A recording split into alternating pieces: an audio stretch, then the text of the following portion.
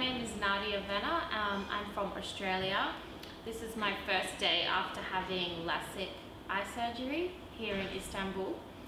Um, my experience has been wonderful. I can't fault it at all. Um, I, I didn't actually come here planning to have eye surgery, but um, because of the rainy, cold weather and wearing a mask, um, it was really bothering me. So I sent a few email inquiries um, and the lovely Karem answered all my questions so fast and made me feel so comfortable that I booked in um, at the nearest appointment, which was yesterday. And yeah, I'm loving my life so far. I had a few hours of discomfort afterwards, um, after the surgery, but I just had a little nap and then when I woke up I could actually see.